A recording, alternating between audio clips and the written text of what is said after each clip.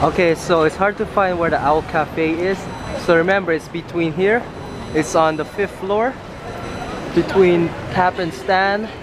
And all you do is go right inside here. Okay, so we are at the Shinjuku and now we are going to our cafe. Finally found it. Oh, right here.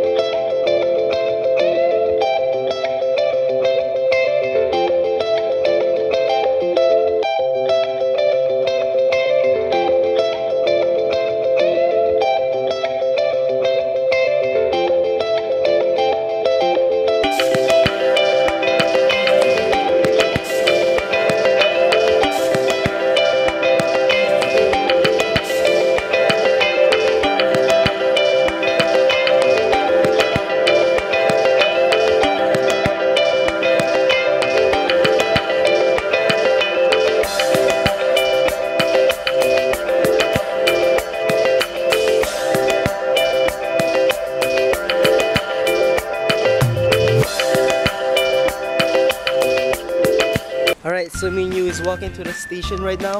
As you can see, it is very cold here in Japan. No. Yeah, it is. You have two jackets.